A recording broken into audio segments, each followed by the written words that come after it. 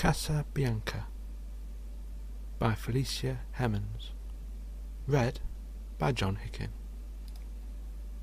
The boy stood on the burning deck When saw but he had fled. A flame that lit the battle's wreck Shone round him o'er the dead. Yet beautiful and bright he stood, As born to rule the storm, A creature of heroic blood, A proud, though childlike form. The flames rolled on he would not go Without his father's word. That father, faint in death below, His voice no longer heard. He called aloud, Say, father, say, If yet my task is done? He knew not that the chieftain lay Unconscious of his son. Speak, father, once again he cried, If I may yet be gone. And but the booming shots replied, And fast the flames rolled on.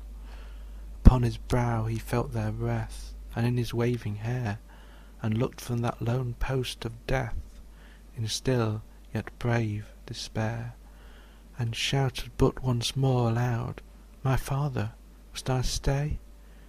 While o'er him fast, through sail and shroud, The wreathing fires made way. They wrapped the ship in splendour wild, They caught the flag on high, And streamed above the gallant child like banners in the sky.